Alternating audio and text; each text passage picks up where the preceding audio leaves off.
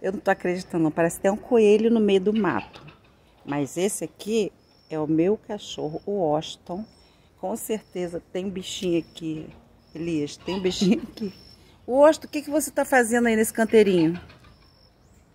Fala, rapaz. O que, que você tá fazendo? Olha só, deve ser um calanguinho, né? Olha, dentro desse canteirinho aqui, ó. Deixa eu ver o pé de tomate. Aqui, olha aqui como ele já amassou o pé de tomate. Eu esperando, cheio de tomatinho verde. Washington, mete pé.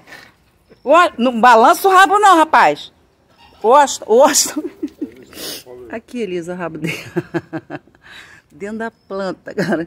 Eu, vem, Washington, vem. Vem, nego. Vem. Aí, agarrado. Mas, como é que, o que, que você tá fazendo ali, Washington? Fala pra mim.